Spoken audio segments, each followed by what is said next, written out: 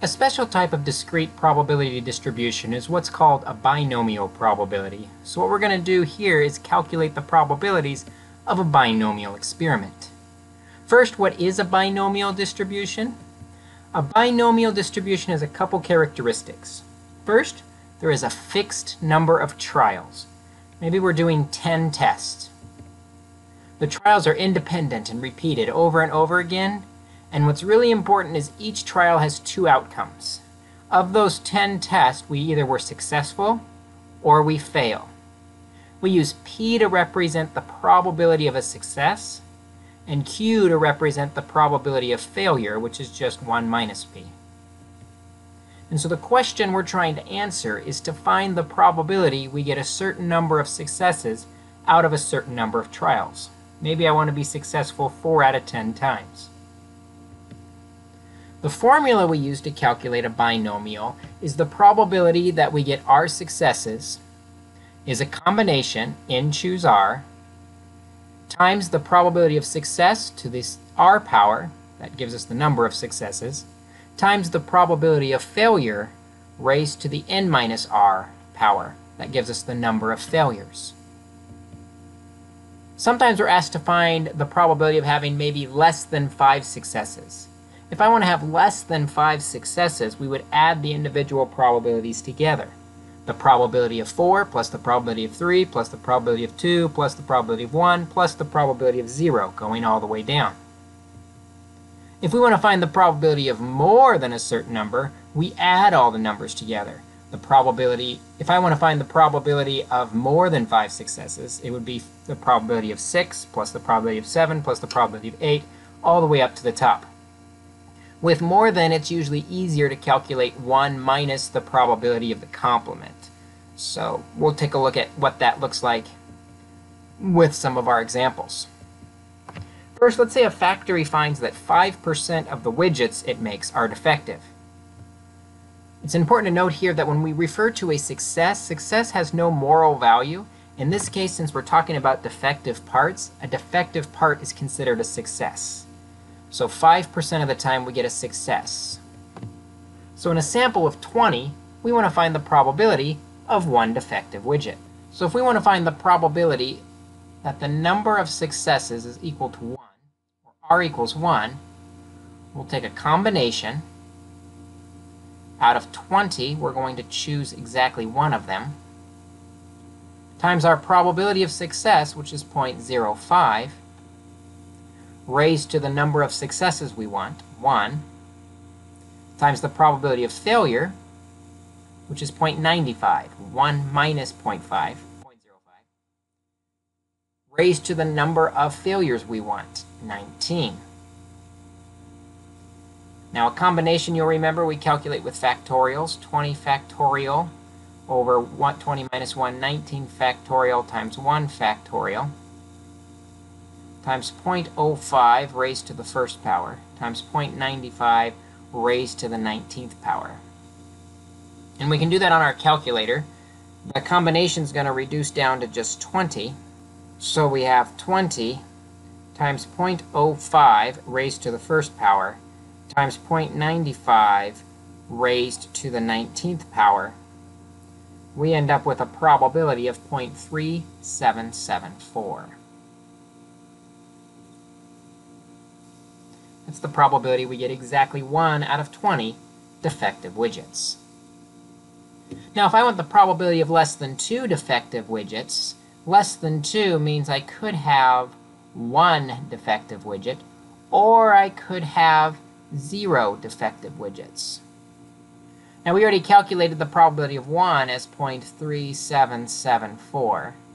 We just need to finish by calculating the probability of 0, which is a combination of 20 choose 0, times success, which is 0.05, we want 0 successes, times failure, which is 0.95, and we want 20 successes.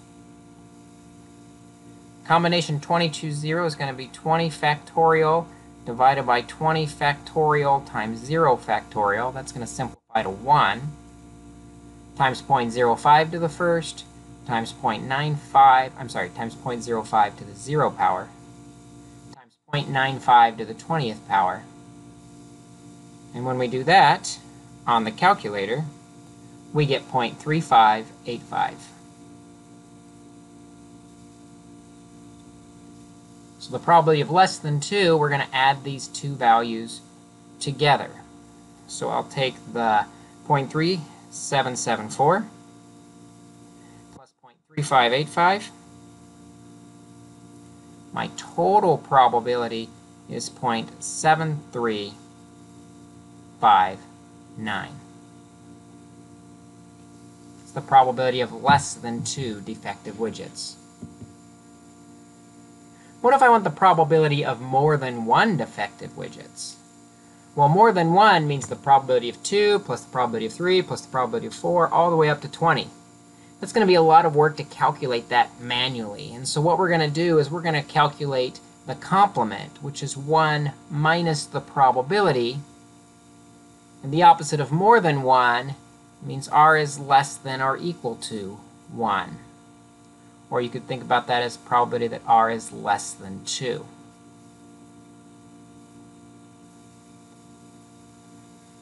Well, what's nice about this is we just calculated the probability that it's less than 2. So we'll put that into our equation 1 minus the probability of less than 2, which is 0.7359, which gives us a probability of 0.2641. There's a, just over a 26% chance that there is more than one defective widget out of 20. Now Excel can make these calculations easier as normal. The binomial distribution on Excel has several parts. First we'll say equals binom.dist for binomial distribution. The first number is going to represent the number of successes we want, comma. The next number is the number of trials we want, comma. The next number is the probability of any one success, comma, and then we'll type in either true or false. If we do true, it's going to do cumulative and add all the numbers below our value, including our value. If we say false, it'll just give us the probability of our specific value. So let's take a look at what that looks like. So here we have the exact same problems we just solved. The factory finds 5% of our widgets are defective, sample of 20. We want to know the probability of exactly one defective widget. To get exactly one, we'll say equals binom dot dist, open a parenthesis. We want the number of successes, which is exactly 1, comma, the number of trials, which was 20, comma, the probability of any one success, which is 0.05, comma, and then it wants to know should we add up everything beneath it as well. We want to know exactly 1, so we'll say false, which means don't add up everything beneath it. Just give us the value at 1 and we get 3, 7, 7 rounds to 4, just like we found when we did it. Now if I want the probability of less than 2, now I know we're talking about 1 or 0. We're adding everything beneath it. So we'll do the same thing, equals binomial dot distribution, open a parenthesis, the first success we want counted is at 1 because we want less than 2 that does not include 2. Starting at 1, going down, comma, the number of trials is still 20, comma, the probability of any one success is 0.05, comma, this time we're going to say true because we want to add everything beneath it. When we hit enter, we get 0.735 8, which with a round off error is about the same as we got previously. For the probability of more than one defective widget, for more than one, again, we're going to do the complement because the Excel formula only gives us everything less than the value. To get more than, we'll say equals 1 minus the binom dot distribution, comma, the number of successes. This is going to be the first number that's excluded. If we want more than one, that's going to start counting at 2, which means the first number excluded is 1.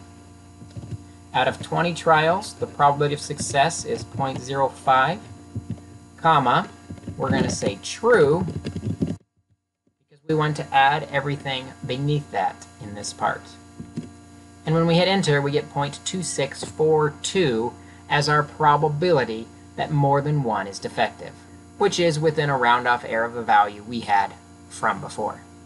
So hopefully this video is useful to you as you calculate the probability of various binomial experiments. Try some of these out on your own and I wish you the best of luck.